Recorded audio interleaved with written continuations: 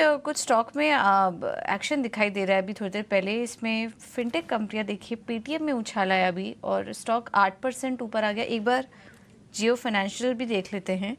यहाँ पर भी एक तेज़ी आई है। थोड़ी देर पहले ही दोनों स्टॉक में एक स्पाइक आया और जियो फाइनेंशियल भी देखिए, लगभग लगभग दो परसेंट ऊपर है और पेटीएम भी एक बार दिखा दीजिए। यहाँ पर भी नौ परसेंट ऊपर अभी स्टॉक आ चुका है।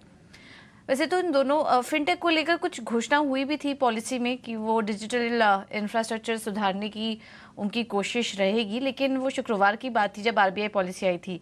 आ, आज ये स्पाइक थोड़ा देखना होगा क्या कुछ खबरें आ रही हैं जिसकी वजह से तेज़ी है बट आ, क्या व्यू बन रहा है आपका जतिन जी? आ, इन फिनटेक कंपनियों पर पेटीएम पर सलाह दीजिए नौ परसेंट अब ऊपर आ चुका है। और जियो फाइनेंशियल्स भी देखिए एक बार दोनों के चार्ट देखकर बताइए क्या कोई ट्रेड लेना चाहिए कहीं पर?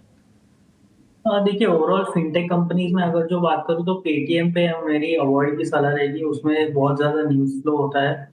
इसके लिए मैं पेटीएम में अवॉइड की सलाह दूँगा। अगर जो टेक्निकली अगर जो मैं बात करूँ तो ये थ्री हंड्रेड एंड फिफ्टी के लेवल से अभी फोर हंड्रेड के आसपास आ चुका है तो थोड़ा पुल बैक है, लेकिन मैं इसमें बाइंग करने की सलाह नहीं दूँगा। इनफैक्ट मैं पोजीशन लेने की सलाह नहीं दूँगा। अगर जो जियो फाइनेंशियल की अगर जो मैं बात करूँ तो हमें लगता है कि एक तीन चार दिनों से एक कंसोलिडेशन डेफिनेटली हो रहा है। हमें लगता है कि कहीं ना कहीं अगर जो ये स्टॉक अराउंड 358 के ऊपर चले जाता है तो इसमें एक ब्रेकआउट की संभावना बनती है। तो हमें लगता है कि 358 के ऊपर जो जाता है तो एक कंडीशनल बाय सजेस्ट करना चाहूँगा। 358 के ऊपर।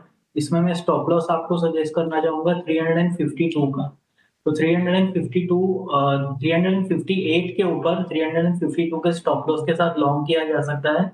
टारगेट रहेंगे 375 के।